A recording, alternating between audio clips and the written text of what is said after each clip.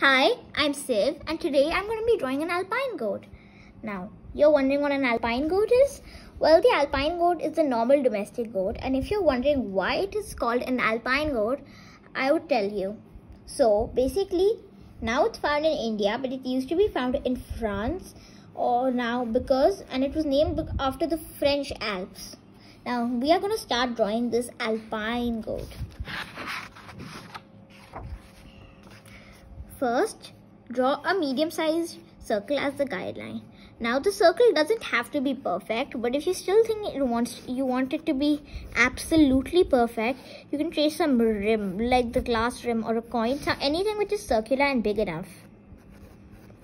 Now, leave a little gap and draw another circle.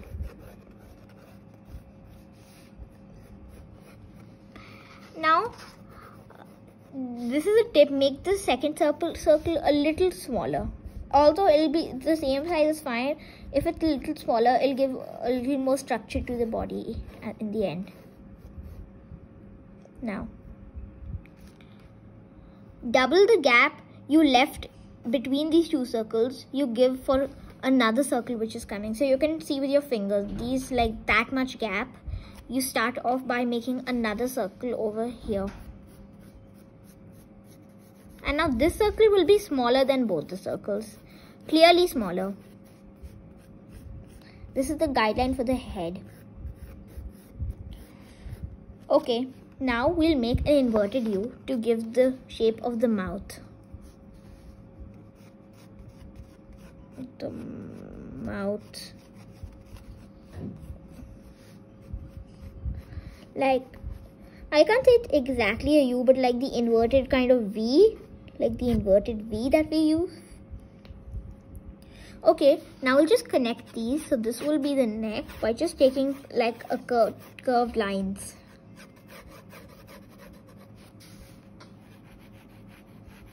Mm, maybe we can shorten the neck a bit. Okay.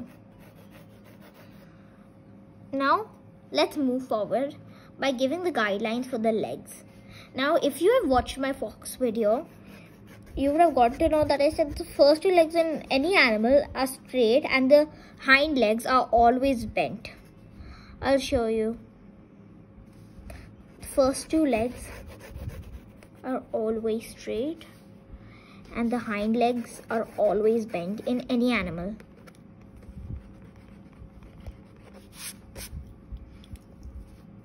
Like the hind legs. Now if you want to know how, what is the shape of the hind legs like it's like a triangle without the third line. Like when you make a triangle like that way you take one slanted line take it uh, the other way around and give it this for the guideline this line. Now the behind hind leg would go like a curve and then come the same way. Now for the guideline of the tail just make this kind of spiral kind of not fully a spiral yeah that much of a curved line. Okay. Now we're going to go on the details of the face. First we are going to just work on the eye. Now before I work on the eye I'll make I'll make this kind of big plus sign which divides into four parts. So I have I know I know like in which part the eye would be. You can be more accurate this way. So now on the second box, the second box, the second slice, at the bottom, start creating an oval kind of shape. Like a slanted oval kind of shape. And then end it with an almond-like triangle again.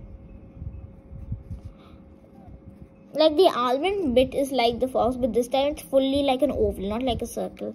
Now you must have seen a goat and sheep eye are like a goats and sheep's eye are like very horizontally oval shaped. So now we're just to get that oval shape inside here. That oval shape of the eyes. And now we're to leave the glare bit.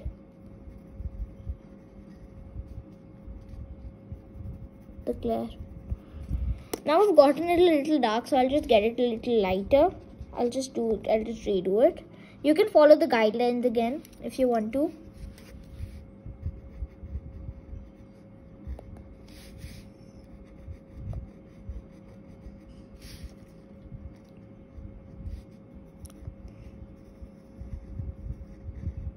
Okay, that's fine for now. And now we'll go on the ears. Now, you might have noticed that a goat's ear are a little like a dog's ear, like the floppy kind of flappy ears. It's like you take you take two lines just two straight lines very straight lines. Give them a curve at the end.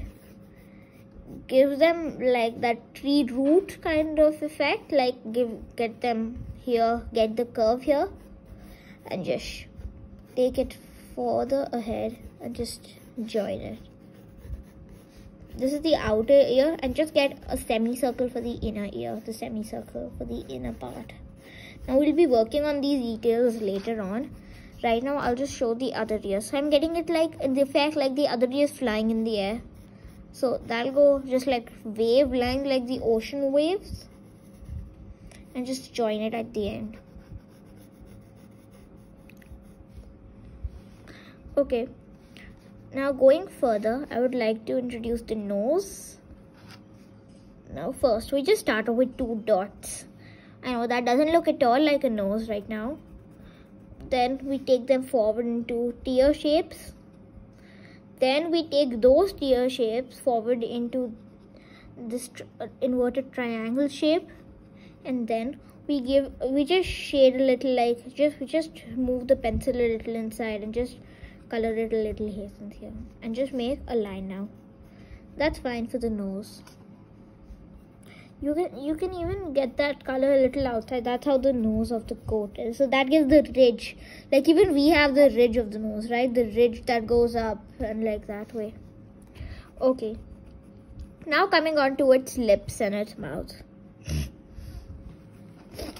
First get the oval the O half oval shape like that way, the U, that the U you're getting for the first one and then get that curve. And now not not like how we did in the fox just take it that way. Take it straight. And now go down. Just go down and just get these two lines here. Now this is the beard of the goat the most prominent part of the goat i guess take S, letter S, S, S, S, just letter S. It can be inverted, any curved lines. Now that's, we're working on the beard. Now those lines you made, you can erase them and get the S there. The curve. Now I would just like to tell a fact that the alpine goat has one of the longest beards of all goats and the mouth is perfectly designed for chewing as their herbivores it's perfectly designed for chewing leaves and grasses. Okay take it forward towards the cheekbone. Now just you're wondering how to create the cheekbone it's actually the simplest part. Make a u that way just like that way. And erase the end as we are going to be working over here later okay. Now get the face shape a little more clear by just getting those letter C I guess. Like letter C going here. Just do that all over the face.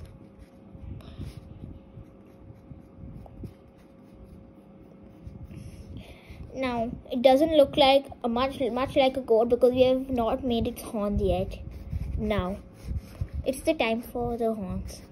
Like maybe like if you cut the moon in half like the crescent shape in half the crescent shape the half the crescent shaped moon that's the shape you'll get. Like this shape. And make sure that the first ear would be the first horn sorry would be longer than the second one. Because the second one is showing from the back so it doesn't give uh, that it's it's not showing from the same angle to get the more realistic look of the goat make sure that the first first one is longer.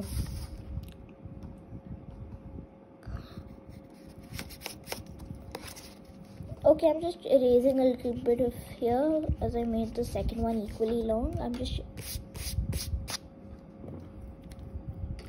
one second i'm just erasing okay now as I was working on the horns I'll give them a little C shape. Now the C we are making this time will be inverted like this. Like you can take it as a very broad U.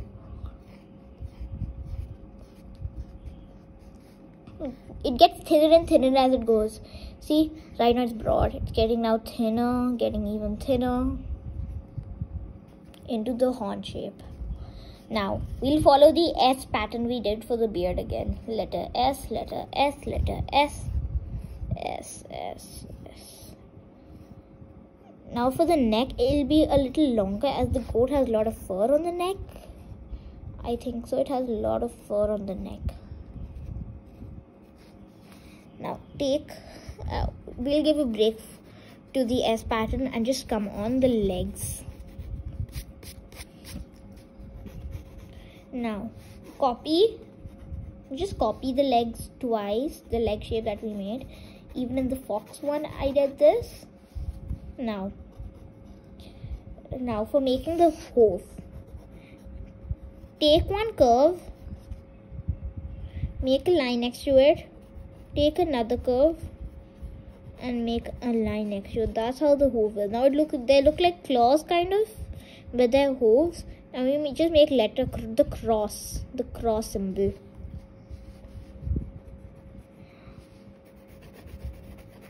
Now that way. We'll follow the same. Copy. Copy.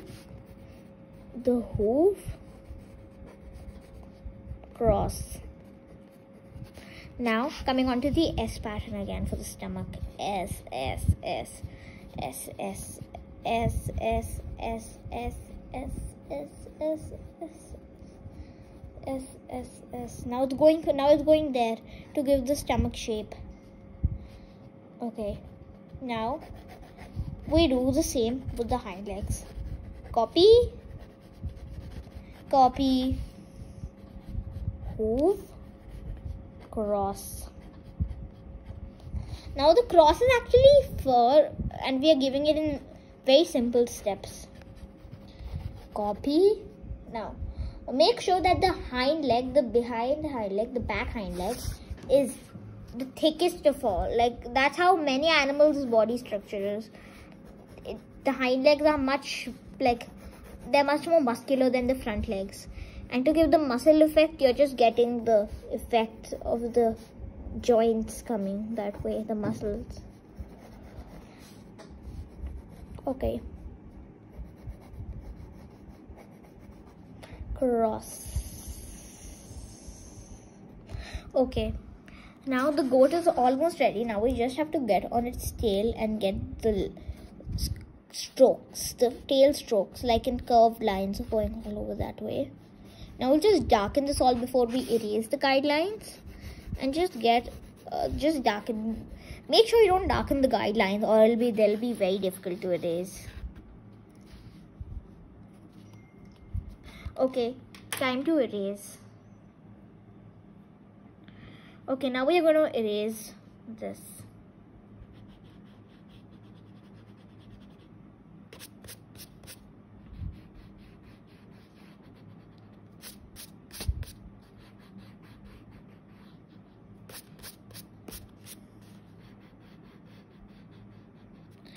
Now when I'm erasing this, some of my lines are getting, they're vanishing. So I'll just make them again. I'll, I'll show this, I'll show that part after the erasing. After I'm done erasing all, everything.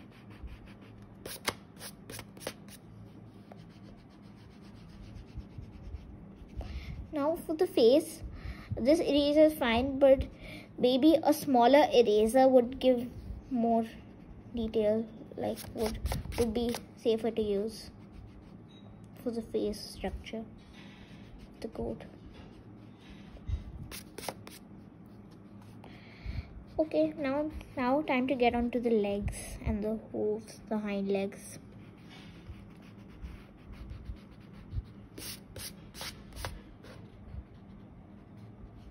Just make sure that no lines are left here.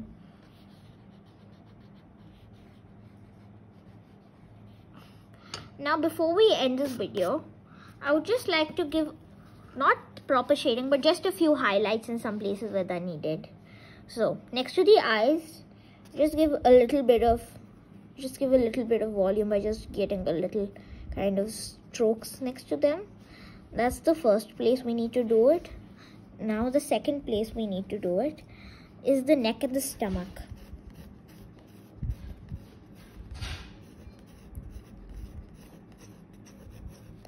We just repeat the S I, I don't think repeating the S is necessary, but you can just take normal line strokes and just give them the little volume there, as there the shadows are coming of the coat. Even under the stomach, it'll really help in the drawing.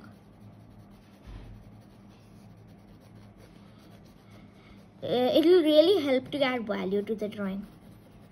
Lastly, to the tail, and now we just got gone the main part and the last part which is getting the ho hooves and the horns colored and give value to them. Now for this I'm using a graphite Prismacolor pencil. You, I would, you can use a normal black pencil also but just make sure you're not using a lead pencil for this. You can use a black colored pencil also. First I'll go on to the hooves. Now I'm just leaving a little bit of glare on the hooves to give it that shiny kind of effect on the hooves it's getting that shiny effect.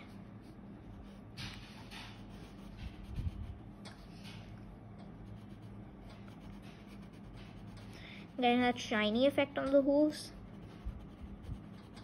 on all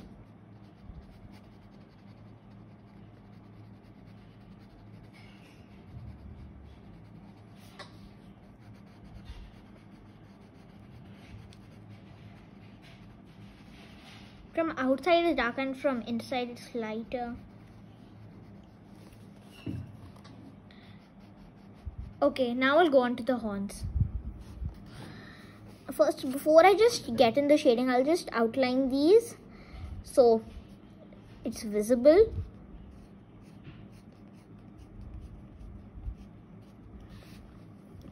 And I'll and I'll do the same thing. I'll I'll shade in this direction, in the C direction but this time I'll, I'll just leave the last bit. Just get uh, from other side to give it the glare.